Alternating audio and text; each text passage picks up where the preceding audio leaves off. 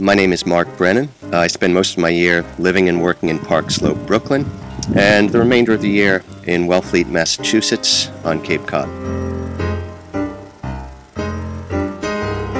I work primarily with watercolor, uh, sometimes some acrylic, usually on Arches cold press paper. Sometimes I use a elongated scroll type Asian format, very tall or very wide. Most of my work deals with mortality. What I'd like people to come away with is to feel moved in some way. If ever anything was a frenzy into folly, it's the the arms race and mutually assured destruction, which is folly by nature.